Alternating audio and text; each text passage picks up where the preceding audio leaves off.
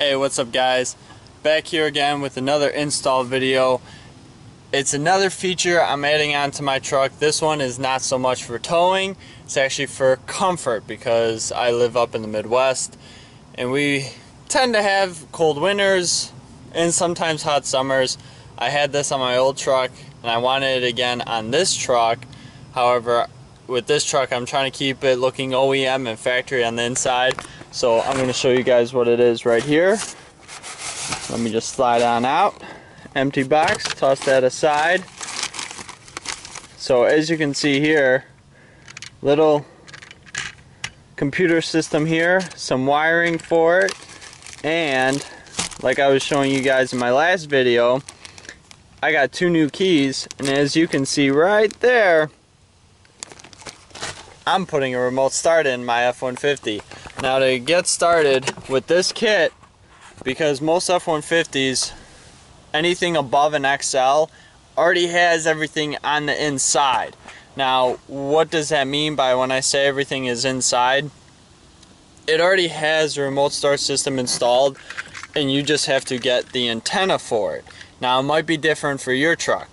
For me, I just needed this antenna and the keys that had the remote start button on it. Now there is another thing that you need that you need to check on your truck before you just get this system.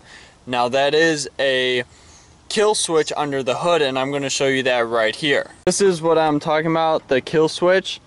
Most remote starts you have to install a plunger type device like this one here somewhere underneath the hood so when the hood is opened your the truck or vehicle will shut off and you cannot remote start the system. So if your truck does not have that, which most of them do, you'll be fine. Otherwise, you're going to have to order some more parts.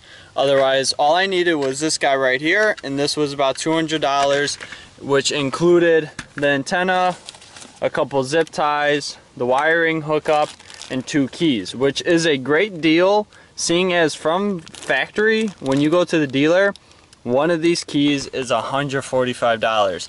So I think I got a bargain deal by getting a remote start system. Now the next thing we gotta do is actually install this guy up under here. Now first thing you're want to do is remove this side panel where on the passenger side as you can tell I don't have a steering wheel here unless you're overseas but I don't really think there's many F-150s overseas. But anyways, passenger side, remove this panel, just stick your finger in that hole, pull out, toss that aside. And what you're gonna be looking for on this side is where the antenna wire jumper cable is going to be plugging into is here's the AC piece and this is actually the tire pressure module sensor doohickey thing and there's going to be a plug-in port just underneath here. The antenna wire gets plugged in underneath this guy with the tab facing towards you. So outward you're going to plug it in like this. Just underneath you can see the wire dangling underneath. Next thing you're going to want to do is open your glove box remove everything out of it. Well you don't really need to but you're going to push this tab in this tab in and the glove box drops right down which is pretty neat because I did not know that does that that easily and look at all this room for activities. Not actually that much room, but enough room to fit this up underneath here. It's actually gonna face like this and it's gonna get zip tied in. But first we need to fish this wire out this way, like so. All right, so I just put the antenna in and you can see it's right here and it, it already has a spot for it to sit and they supply two zip ties with it so it doesn't move.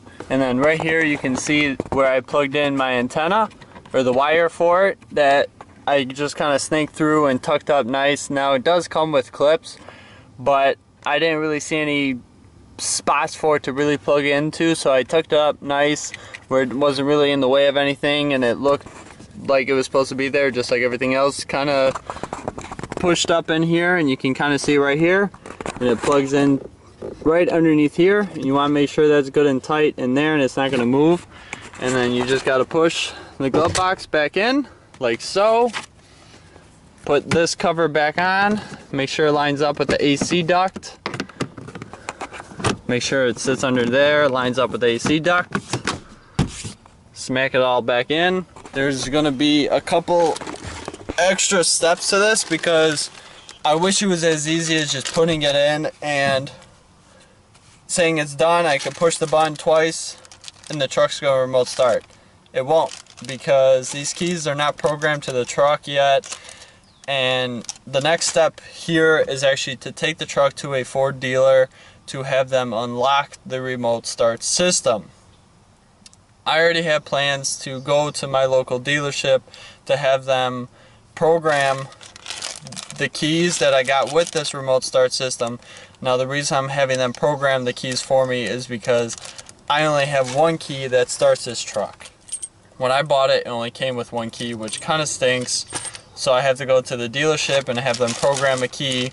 So while I'm there, having them program a new key for me, while cutting the key, programming the key, I'm also going to have them unlock my trailer brake controller, the remote start system, so those things can work too, and my truck will be how I want it, and I'll be happy with it.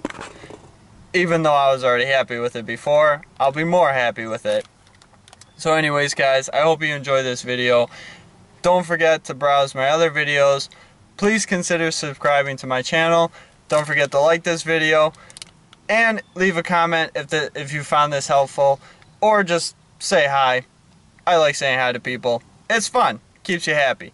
Anyways, you guys have a good one. Thanks for watching. Stay tuned. So I will see you guys laters. Bye.